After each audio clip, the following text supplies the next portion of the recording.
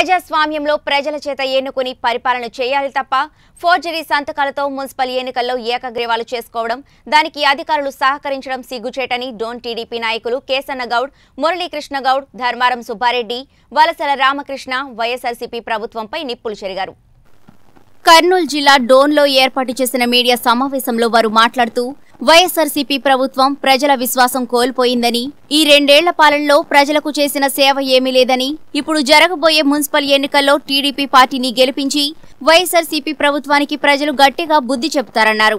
అలాగే వైఎస్ఆర్సీపీ నాయకులు చేస్తున్న అరాచకాలను ఎండగట్టారు. అంత భయం ఉన్నప్పుడు ఎన్నికల్లో పోటీ చేసి గెలవాలి తప్ప తమ వార్డు సభ్యుల సంతకాలను ఫోర్జరీ చేసి గెలవడం సిగ్గుచేటని ఇది వారి విజ్ఞతకే వదిలివేస్తున్నట్టు అలాగే ఈ మున్సిపల్ ఎలక్షన్లో తప్పకుండా తాము పోటీ చేస్తామని వారు తెలియజేశారు ఇంకొక చిన్న విషయం అంటే ఆ పద్నాలుగో వార్డులో చిన్న కేశవే ఉన్నాడు.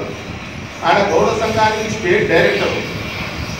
పెద్ద ఇది స్టేట్ లీడర్ అనుకోండి. వీళ్ళ చిన్న కుటుంబం. అంటే వీళ్ళ చేతులు ఓడిపోతామని పోర్చని సంతకాలు పెట్టుకొని అంత భయం పుట్టిందా మీకు?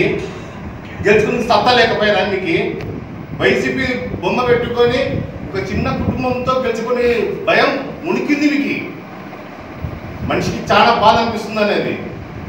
సొంత దొంగ సంతకాలు పెట్టుకొని చేయడం అంటే ఒక ఆడవాళ్ళ కన్నా హీనం ఇది. ఇది ఇంకో విషయం ఏంటన్నా సరే మనం కూడా ఉన్నతంగా మాట్లాడాలనుకుంటున్నాము. కేవలం కేవలము మాకు ఒక కంట్రోల్ నీళ్ళు వచ్చే పరిస్థితి ఇది. మూడు రకం గెలిచండి. సంతోషంగా. మీరు మేము ఓడిపోయినా పర్లేదు.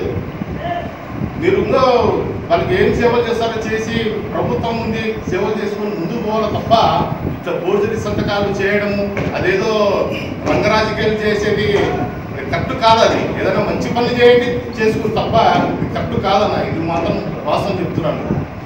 మాకు ఎంతో బాధ ఉందంటే ఇప్పుడు ఏదో మేము అమ్ముడు పోయినాము ఇంకోటో ఇంకోటో పది రకాలు అనుకోవచ్చు. ఇవన్నీ వాస్తవాలు ఈరోజు కాకపోయినా సంవత్సరానికైనా కానీ బయటపడతాయి. ఎవరు ఏం పరిస్థితి ఇంకా అనేది?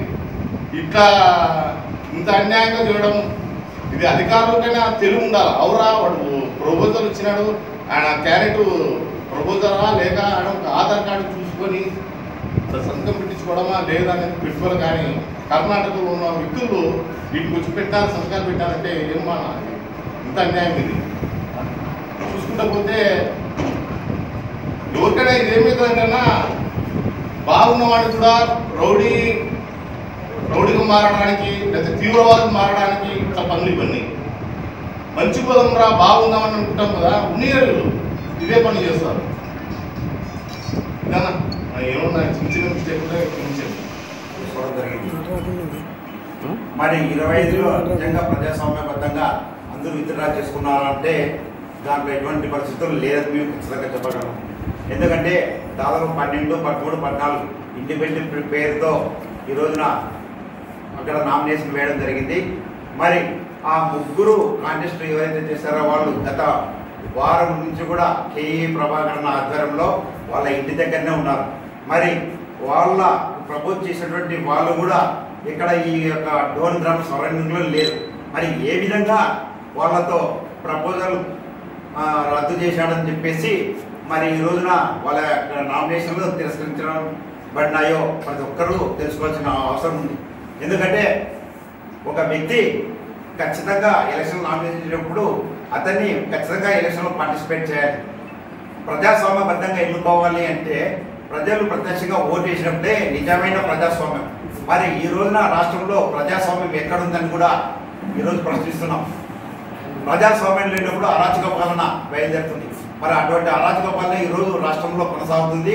అదేవిధంగా ఈ రోజున డోన్ గ్రామంలో కూడా జరుగుతుంది డోన్ నియోజకవర్గంలో కూడా జరుగుతుంది.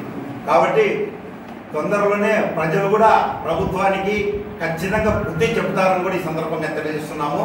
కాబట్టి ఈ యొక్క నామినేషన్ మళ్ళీ పరిశీలించి వాళ్ళు వాళ్ళని మళ్ళీ ముగ్గురు కూడా ఎలక్షన్లో పోటీ చేసే విధంగా ఖచ్చితంగా ఈ యొక్క ప్రభుత్వం చర్యలు తీసుకోవాలి. అదేవిధంగా స్టేట్ ఎలక్షన్ కమిషన్ కూడా మేము ఆయనకి రిప్రజెంట్ చేయడం జరిగింది. ప్రభాకరన్ ఆధ్వర్యంలో. అలా- అదేవిధంగా పోలీస్ కంప్లైంట్ ఇవ్వడం జరిగింది జరుగుతుంది. తర్వాత వచ్చేసి కోర్టు కూడా పోవడం జరుగుతుంది. కాబట్టి అధికారులు తక్షణమే స్పందించి ఈ విషయంలో ఈ యొక్క అభ్యర్థులకు ఖచ్చితంగా న్యాయం జరగాలని కూడా మేమందరం కోరుకుంటూ సెలవు ఈ రెండు సంవత్సరాల కాలంలో అభివృద్ధిని పరుగులు పెట్టిస్తున్నాడు అని చెప్పేసి వాళ్ళు చెప్పుకుంటున్నారు. నిజంగా అభివృద్ధి అంత పెద్ద ఎత్తున ప్రజామోదంగా జరుగుతుంటే మరి ఎన్నికలకు ఎందుకు భయపడుతున్నారని మేము ఈ సందర్భంగా ఆ ప్రభుత్వాన్ని లేదంటే ఆ నాయకులను అడుగుతున్నాము.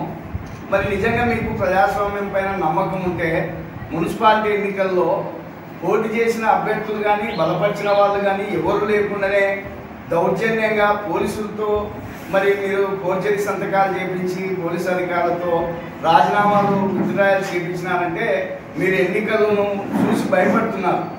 అంతేకాకుండా మన ఇంతకుముందు జరిగిన ఎంపీటీసీ జెడ్పీటీసీ ఎన్నికల్లో కూడా మొత్తం మీరు పోలీసులు అధికారులను అడ్డం పెట్టుకొని అధికారాన్ని జులుమును ప్రదర్శించి దౌర్జన్యం చేసి ఏకగ్రీవాలు చేసుకున్నారు.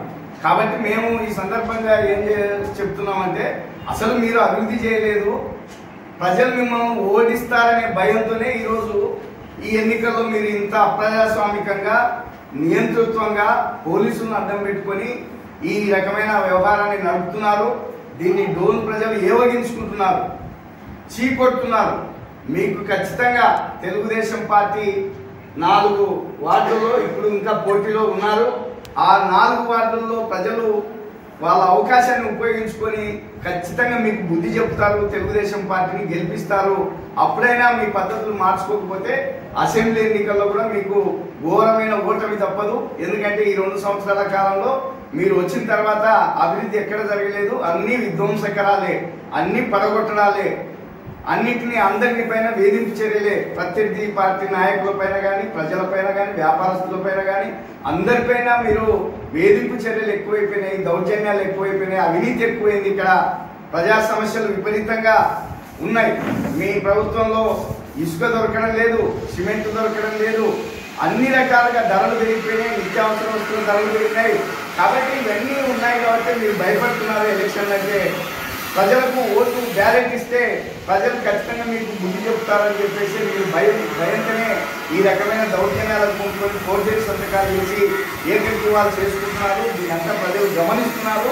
ఖచ్చితంగా మీకు ఈ మున్సిపాలిటీలో ఈ నాలుగైదు వార్డులో జరిగే ఎన్నికలైనా సరే తగిన బుద్ధి చెప్తారు. తెలుగుదేశం మరి పార్టీ అభ్యర్థులను మంచి మెజార్టీతో గెలిపిస్తారని నేను తెలియదు